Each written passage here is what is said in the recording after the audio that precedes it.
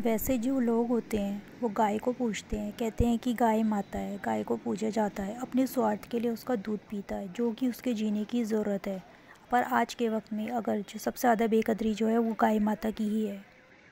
लोग जो होते हैं, गाय का दूध निकालते हैं, सुबह उन्हें गाय दूध का दूध निकालने के लिए ले जाते हैं और फिर पूरे दिन उन्हें सड़कों पर भटकने के लिए छोड़ जाते हैं। वो इधर उधर मुँह मारती रहती हैं। फिर जब राय रात होती है, फिर दोबारा उन्हें ले जाते हैं और दूध के लिए यूज़ करते हैं, फिर सुबह सड़कों पर। ये कोई अच्छी बात कोई होती है। अगर हर कोई अपने एरिया में गाय को खाने पीने के लिए कुछ ना कुछ देता रहे तो उन्हें प्लास्टिक कचरे में इधर उधर मुँह नहीं मारना पड़ेगा। और वो तकलीफ़ सहते सहते नहीं पड़ेगी। उनको ऐसे ऐसी बीमारियाँ हो जाती है कि उनका इलाज भी नहीं हो पाता। ये हमसे किया गया बहुत बड़ा पाप है। जब मैं घर से बाहर निकलती हूँ तो मैं देखती हूँ कि गाय भूखी होती है। इधर उधर सड़कों पर जो पौधों पर मिट्टी लगी होती है, उनसे पेट भर रही होती है, गत्ते खा रही होती है, सड़कों पर पड़े प्लास्टिक को चाट रही होती है। लेकिन कोई भी उन्हें गाय को कुछ खाने के लिए नहीं देता है। मुझे लगता है, अगर ये सब करते हुए मुझे अच्छा लग रहा है तो शायद आपको भी देखने में अच्छा लग रहा होगा। हो सकता है कुछ लोगों को ना देखने में अच्छा लगे, क्योंकि जब मैं घर से बाहर निकलती हूँ और गाय के खाने के लिए कुछ ख़रीद रही होती हूँ तो कुछ लोग ऐसे भी होते हैं कि आप गाय के लिए इतना क्यों ख़रीद रहे हो? उनको गाय को मैं जो खिलाती हूँ, वो भी उन्हें खिलाना अच्छा नहीं लगता है। जब उन लोगों को गाय को ही खिलाना अच्छा नहीं लगता है तो इंसान इंसान को खिलाना क्या बर्दाश्त कर पाएगा, जो बेज़ुबान जानवर का खाना तक बर्दाश्त नहीं कर पाते हैं। आपको सुबह गाय का दूध निकालने का पता है कि आपको उनका दूध मिलेगा सुबह, आप उनको दूध को बेच के पैसे खरीद से पैसे मिलेंगे दूध खरीद के।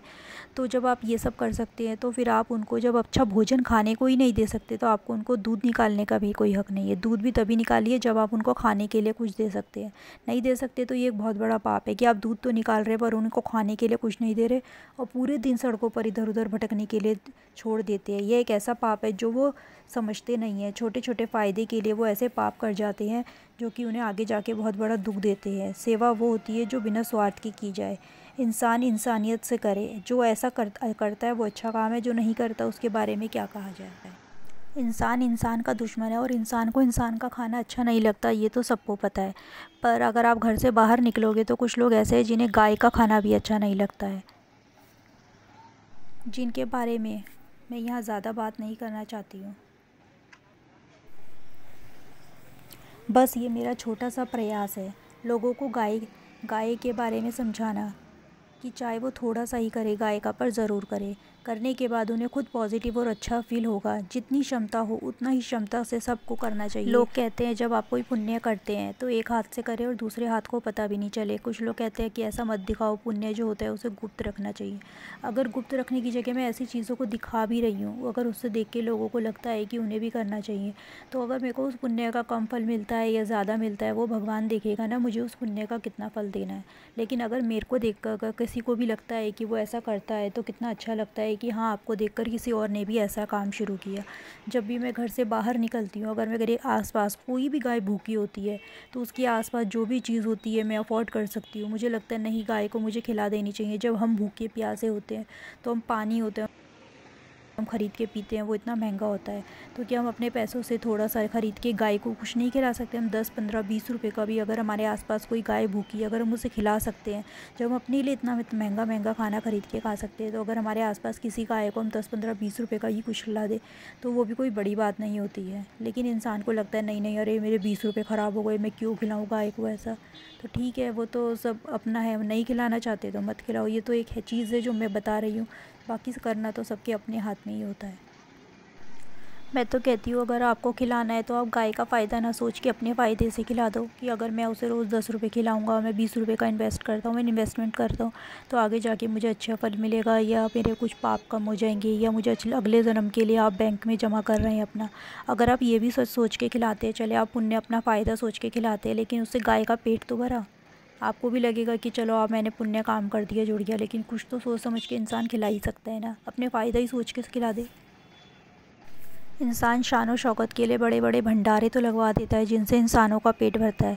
लेकिन अगर आप घर से बाहर निकलोगे, कोई भी कोई भी कोई भी त्यौहार होता है तो इंसान भंडारे तो बड़े बड़े लगवा देता है इंसानों का पेट भरने के लिए, जिससे उन्हें लगता है हमारी शान होगी।